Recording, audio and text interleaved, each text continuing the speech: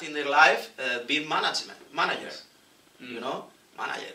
He finished in the university, and after that, starting one company like manager.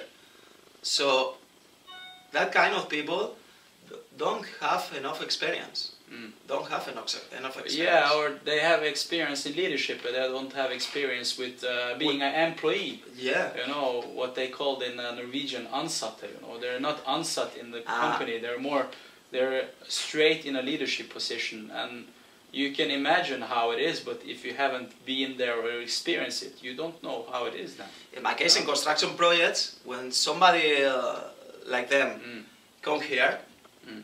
uh, don't know to walk in the building site. Mm. Okay, it's, it's crazy.